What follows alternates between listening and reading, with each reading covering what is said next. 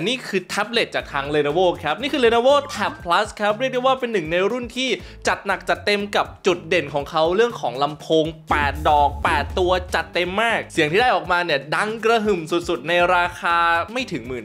น่าสนใจแค่ไหน ไปรับชมคลิปนี้พร้อมกันกับผมนายแฟม let's go วางมาตั้งอย่างนี้ครับ ต้องบอกว่าจุดเด่นอย่างแรกที่ไม่พูดก็คงไม่ได้นี่คือ เรียกได้ว่าเป็นขาตั้งนะครับ ที่ตัวนี้มีมาให้เลยนะครับ ติดกับข้างหลังตัวเครื่องแบบนี้กลางได้สุดขนาดนี้เลยทุกคน เป็นจุดที่มันเรียกได้ว่าตอนแรกผมก็เข้าใจว่ามันจะแบบเอ้ยมันจะแข็งแรงหรือเปล่า แข็งแรงมากครับทุกคนคือมันเป็นแบบเนื้อที่แบบว่าโหดีมากอะทุกอย่างมันแบบดีไซน์มาเพื่อเอาไว้เสพคอนเทนต์เสพสื่อ แน่นอนเราต้องการขาตั้งใช่ไหมรุ่นนี้มีขาตั้งมาให้ในตัวเครื่องเลยนะครับและพลิกมาด้านข้างเนี่ยเราจะเห็นเลยครับว่ารุ่นนี้เนี่ยจัดหนักจัดเต็มกับระบบ Dolby Atmos ครับ และลำโพงตัวนี้จูนบาย JBL ครับ ทุกคนเห็นตรงนี้ใช่ไหมนี่คือโลโก้ JBL โลโก้แบบนี้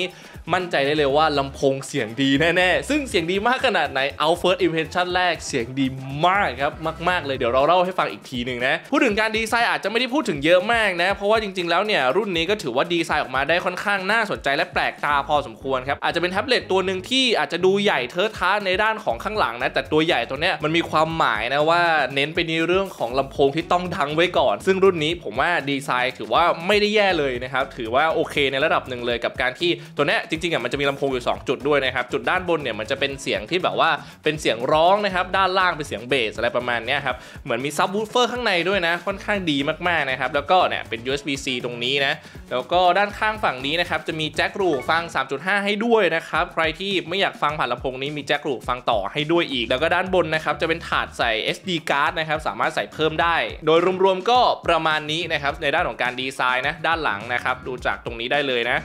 นี่นะครับมีกล้องตัวเดียวแบบนี้เลย ส่วนภายในตัวกล่องนะครับ Six Sister มีทำแกะกล่องไปแล้วนะครับลงไปใน TikTok เรียบร้อยนะครับใครยังไม่ไปดูเนี่ยตามไปดูกันได้นะครับสำหรับรุ่นนี้เนี่ยจะแถมตัวหัวชาร์จ แล้วก็สายชาร์จที่เป็น USB-C มาให้เลยนะ ความเร็วกำลังวัตต์อยู่ที่ 45 วัตต์กันเลยนะครับซึ่งค่อนข้างเร็วมากๆนะครับกับการเป็นแท็บเล็ตแล้วแถมมาให้ในกล่องด้วยเป็น C to C ด้วยนะครับค่อนข้างเจ๋งมากนะครับอีกอย่างหนึ่งที่ผมรู้สึกว่ามันควรจะมีมาให้นะครับเพราะรุ่นนี้เนี่ยค่อนข้างดีไซน์แตกต่างจากแท็บเล็ตรุ่นอื่นถูกไหมดังนั้นเนี่ยแน่นอนมันควรจะต้องมีเคสมาให้ ซึ่งรุ่นนี้มีเคสมาให้ของเขาโดยเฉพาะและเคสเขาดีด้วยนะ feel แบบถือหนังแบบนักธุรกิจถือข้างๆอย่างเงี้ยสวยมาก และตัวเครื่องตัวนี้ยังกันน้ำกันฝุ่นเป็น IP52 ด้วยนะครับก็พอจะกันน้ำกันฝุ่นได้เล็กๆน้อยๆครับฝุ่นละอองการตกกระแทกเล็กๆน้อยๆรวมไปถึงเรื่องของแบบน้ำนิดๆนิดๆหน่อยๆนะคือพยายามระวังระวังแล้วกันเพราะตัวเนี้ยด้านข้างเป็นลำโพงนะครับทุกคนอย่าลืมนะทีนี้พลิกมาเรื่องของหน้าจอนะครับ Lenovo หลายๆรุ่นนะครับที่ผมรีวิวเนี่ยโอ้ผมรีวิวหลายรุ่นมากสำหรับ Lenovo โดยเฉพาะแท็บเล็ตนะหลายคนก็ให้ความสนใจกับรุ่นนี้มากนะครับ ซึ่งส่วนใหญ่ Lenovo เนี่ยจะเน้นไปที่จอที่ต้องความละเอียดสูงๆเข้าไว้นะครับ เน้น entertain ให้ได้เยอะที่สุดไม่ว่าจะเป็นดูหนังดูซีรีส์นะครับ เล่นกงเล่นเกมอะไรเงี้ย เพื่อให้คุณภาพนะครับด้านหน้าจอมันออกมาดีที่สุด ซึ่งรุ่นนี้จัดเต็มกับการที่เป็นจอความละเอียดสูงถึง 2K นะครับ ซึ่งก็ถือว่าทำการแสดงผลออกมาได้ดีพอสมควรนะครับสำหรับไม่ว่าจะเป็นพวก Netflix YouTube อะไรแบบเนี้ยคือมันค่อนข้างแบบทำให้เราเสพคอนเทนต์ได้ดีขึ้นกว่าเดิมจริง ๆ โดยเฉพาะการที่เป็นลำโพงแบบนี้อีกด้วยเนี่ยมันก็ทำให้คุณภาพทุกอย่างมันลงตัวที่สุดแล้วนะครับสำหรับรุ่นนี้ นอกเหนือจากนั้นนะครับขนาดหน้าจอตัวนี้จะอยู่ที่ 11.5 นิ้วนะครับจอเป็น IPS LCD คืออาจจะไม่ได้ละเอียดเท่ากับ AMOLED แต่ก็ได้ความละเอียดที่เป็น 2K ก็ถือว่าพอเวทกันได้นะครับอัตรา refresh rate สูงสุดของตัวนี้จะอยู่ที่ 90 Hz นะครับก็จะทำให้การเล่นเกมพวก PUBG RV ถือว่าเล่นได้ลื่นกว่าพวกจอ 60 Hz พอสมควรเดี๋ยวจะเป็น Asphalt 9ที่ลองเล่นก็ถือว่าทำได้ดีพอสมควรเลยครับเพิ่มเติมขึ้นมานะครับหลาย ๆ รุ่นของแท็บเล็ตเนี่ยส่วนใหญ่ก็จะเริ่มมีการรองรับมาตรฐาน TUV Line เข้ามาแล้วเนาะเพื่อถนอมแสงสีฟ้าที่มันออกมาจากหน้าจอนะครับจะทำให้การถนอมสายตาเนี่ยทำได้ดีมากกว่าการแค่เปิดโหมดถนอมสายตา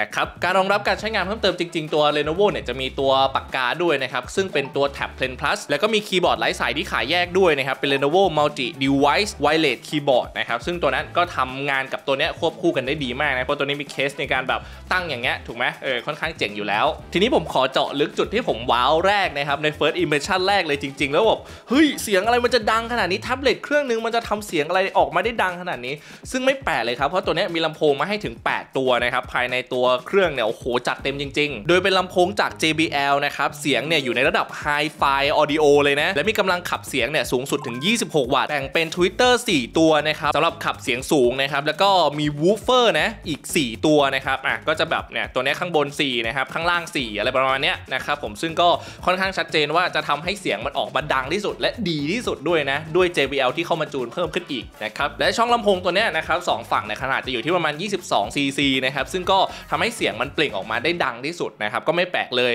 อีกทั้งแน่นอนครับอย่างที่บอกไปว่าตัวนี้รองรับ Dolby Atmos นะก็จะทำให้เสียงเนี่ยที่ถ้าปกติแล้วเราใช้ Dolby Atmos นะครับผ่านตัวสมาร์ทโฟนนะครับผ่านตัวแท็บเล็ตเองก็ตามเนี่ยถึงแม้มี Dolby Atmos นะเสียงมันก็จะไม่ได้ดังสุดเท่าที่ตัวโทรศัพท์หรือแท็บเล็ตมันทำได้นะครับแต่รุ่นนี้เนี่ยมันดันได้สุดไงเพราะเนื่องจากว่าลำโพงมันดังมากนะครับและเสียงที่ออกมามันดังกระหึ่มแล้วก็กระจายเสียงออราวสุดๆเลยนะครับเมื่อเทียบกับแบรนด์อื่นๆเนี่ยต้องพูดกันตามตรงว่าเสียงที่มันออกมาเนี่ยตัวเนี้ยมันได้ dynamic ที่ดีกว่าจริง ๆ ด้วยลำโพงด้วยนะครับเหมือนเราไปเปิดกับลำโพงจริงๆอะนะซึ่งพอพูดว่ามันเหมือนกับลำโพงเนี่ยก็ต้องพูดว่ามันคือลำโพงพกพาจริงๆครับมันสามารถเชื่อมต่อบลูทูธเข้ากับตัวสมาร์ทโฟนของเราได้ครับตั้งแบบเนี้ยกลายเป็นลำโพงพกพาอันนึงแบบลำโพง JBL เล็กๆอะอันนึงได้เลยอะซึ่งทำให้เราแบบเฮ้ย คือตัวนี้ตัวเดียวทำทุกอย่างได้ครบแล้วอะเจ๋งมาก ๆ จริง ๆ นะครับ นอกเหนือจากนี้ก็อย่างที่บอกไปว่าสามารถเชื่อมต่อแจ็คหูฟัง 3.5 ฟังเพลงได้นะครับ เสียงที่มันออกมาเนี่ย Hi-Res Audio สูงสุด 24 บิต96 GHz ด้วยนะ คือตัวแจ็คหูฟัง 3.5 ก็ให้มาตรฐานที่สูงพอ ๆ กันเลย ทีนี้อยากให้ทุกคนลองฟังเสียงที่เราพยายามทดสอบให้ได้มากที่สุดว่าเฮ้ยมันจะดังได้มากขนาดไหนนะครับจริง ๆ แล้วเนี่ยอยากจะเปิดให้ดูแหละแต่ว่ามีฟุตเทจให้ดูลองดูได้ครับ I don't know nobody else doing this. Body start to drop, ayy.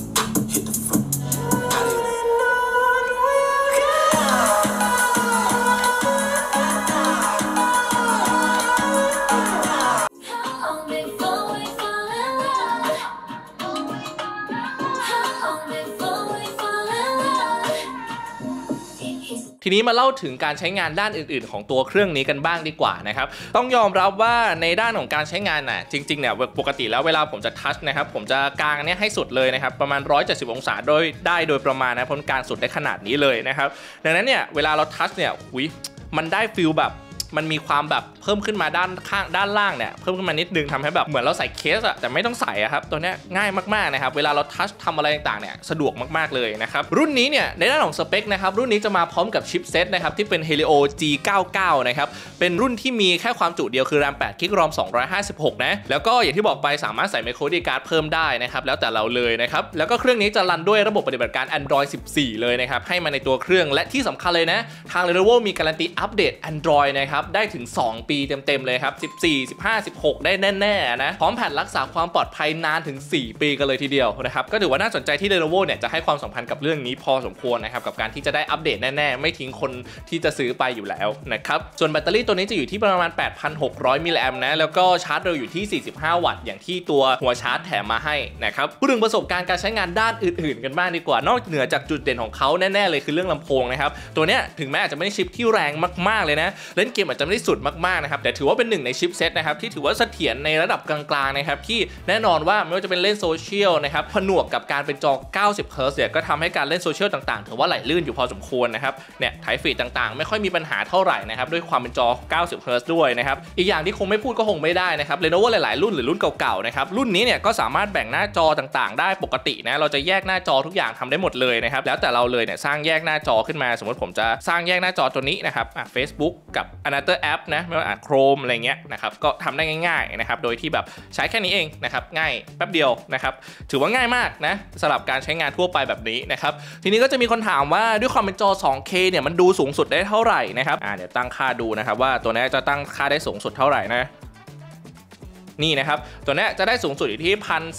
1440p นะครับ 60 เฟรมเรทนะครับ ก็จะไม่ได้ระดับถึง 4K นะ แต่ได้ความละเอียดสูงสุดของตัวนี้ที่มีมาให้คือ 2K แน่ๆนะครับ ไม่ต้องห่วงเลยคือได้สูงสุดอยู่แล้วนะครับ แล้วก็จะได้คุณภาพที่ค่อนข้างดีอยู่แล้ว ส่วนถ้าเป็นการใช้งานด้านการเล่นเกมนะครับ ก็มีไปทดสอบบ้างนะครับ ก็ต้องยอมรับว่าตัวนี้มันเป็นแท็บเล็ตทั่วไปนะ เน้น entertain นนะ ไม่ใช่การเล่นเกมนะ แต่ว่า entertain ก็ต้องมีเกมด้วยถูกไหมไปลองไม่ว่าจะเป็นพวกเกม PUBG RV นะครับ อะ เป็นยังไงนะครับ อย่างถ้าเป็น RV เนี่ยจะปรับกราฟิกได้สูงสุดและเป็นแบบ 60 Hz นะครับ ซึ่งก็เล่นได้ลื่น พอสมควรด้วยความเป็น Helio G99 ถือว่าเล่นได้ลื่นอยู่แล้วนะครับ จริงๆก็ถ้าเน้นการลื่นไหลทั่วไปเนี่ยไม่เน้นว่าแบบต้องเล่นหลายๆ ตาติดต่อกันเน้นแบบเน้นเล่นเกมหนักๆ ผมว่าตัวนี้พอจะเอาอยู่นะครับ ส่วนถ้าเป็น PUBG นะเน้นให้เปิดเป็นกราฟิกอย่าง HD มากกว่านะครับ เพราะจะทำให้เครื่องเนี่ยมันสามารถเล่นได้ลื่นนะครับ แล้วก็ปรับ frame rate แบบสูงนะครับ ก็พอจะเล่นได้ในระดับหนึ่งนะครับ ซึ่งก็ถือว่าเล่นได้ลื่นอยู่พอสมควรถ้าปรับ HD นะ Free Fire เนี่ยไม่ต้องห่วงครับเล่นได้สบายอยู่แล้วนะครับไม่ต้องบอกด้วยกราฟิกสูงอยู่แล้วนะ ส่วนนั้นเป็น a d f a l 9นะครับ ตัวนี้จะปรับกราฟิกสูงได้แล้วก็ frame rate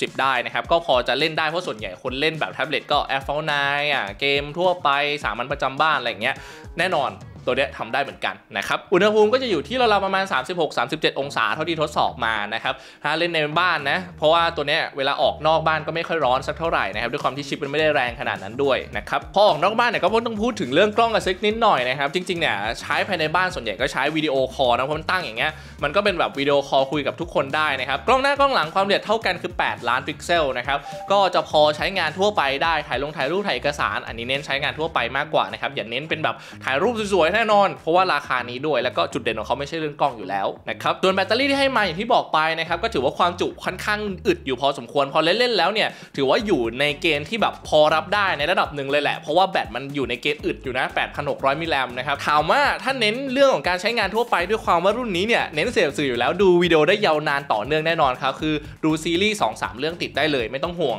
แต่ถ้าเป็นต้องแบบสลับการเล่นเกมนะครับการใช้งานการเล่นโซเชียลหรือเรื่อยๆเนี่ยแน่นอนอะมันก็จะมีเรื่องของการใช้งานที่มันหนักเกินไปนะครับด้วยชิปด้วยอะไรต่างๆ มันก็ถือว่าอยู่ในเกณฑ์ที่เวทกันได้ดีนะครับไม่ได้ถึงกับว่าอึดสุด ๆ เลยนะครับแล้วก็ลองใช้งานมาสักพักหนึ่งครับกับน้ำหนักราวๆประมาณ 650 กรัมนะครับถามว่าหนักไหมนะครับก็ถือว่าหนักเอาเรื่องอยู่นะด้วยความว่าลำโพงตัวเนี้ยมันก็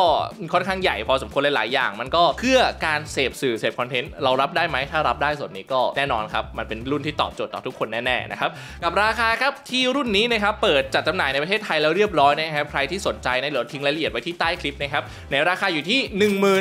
11,990 บาทนะครับแน่นอนว่าเป็นหนึ่งในรุ่นที่ใครชอบการฟังเพลงเสพสื่อเสพคอนเทนต์ดู Netflix เชื่อได้เลยว่าหลงรักมันแน่นอน ซึ่งผมหลงรักมันไปแล้วครับเอาล่ะ ทุกคนคิดอย่างไรเกี่ยวกับตัว Lenovo Tab Plus กันบ้างนะครับ คอมเมนต์พูดคุยกันได้ใต้คลิปนี้ เอาเป็นว่าเจอกันคลิปวิดีโอหน้าแล้วกันนะครับ ใครชอบฝากกดไลค์กด subscribe นะครับที่สำคัญเลยนะ อย่าลืมกดกระดิ่ง ติ๊งๆ เพื่อจะไม่พลาดในการรับชมคลิปใหม่ๆถัดๆไปของ Six Sister เจอกันครับ สวัสดีครับ